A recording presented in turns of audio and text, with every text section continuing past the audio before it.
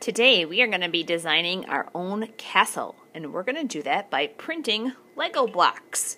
So you will have two different sizes to use as printing and you can use the spot that they connect with on the top or you can actually print the bottom. So I'll show you what both of those look like. So I'm going to start with my paper either horizontal, that's the long way, or tall. So I'm going to put my name on the back and I'm going to flip my paper over. I'm going to print my first castle long. And I'm going to start with my long block. So when I print, which we've done already this school year, I am just dabbing the block into the black paint. I'm going to start in the middle of my paper. So I have a little space on this side and a little on this side. And I'm going to start with a door. So my door is going to have a block long and maybe I'm going to have kind of a rounded door. So I'm going to stamp on the sides and I'm going to connect this with a smaller block. So I'm dipping the smaller block into the um, paint and I'm going to connect it like that. So I kind of have this rounded door. You could have it rounded, you could have it um, just a couple of rectangles. So now I'm going to stamp the side of my castle and I'm going to make it going up really tall.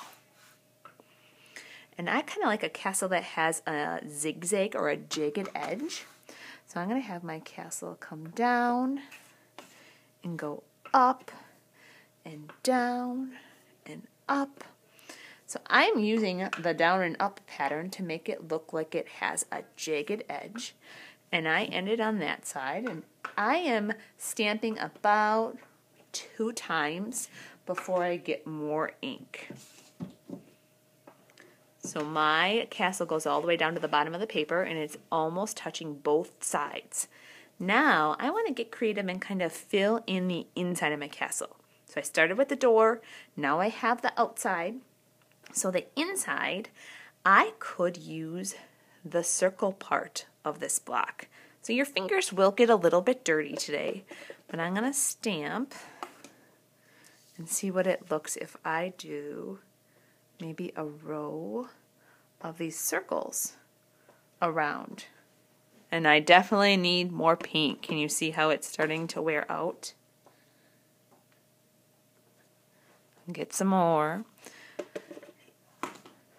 If you wanted to have the um, rectangle and put the circle parts inside, you could do that too. Kind of adds a cool decoration. It almost looks like stones, doesn't it? Awesome. I kind of like that. I'm doing that everywhere. So my fingers are dirty. I'm sure yours will get dirty too. Uh, maybe in here I'm going to make some windows.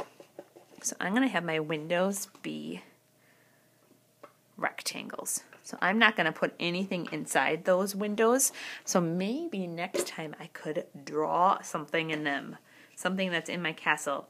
I'm going to finish up by putting a couple more blocks on the sides here. Get them some more to fit. So I can definitely see that this is a castle shape. I have a door and I have the outside edge and I had time to even put some cool designs on the inside. These are going to dry, and next time we're going to add color to them.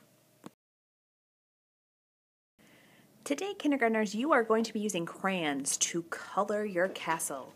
So you could have a very colorful castle, or you could have a castle that's maybe brown or gray.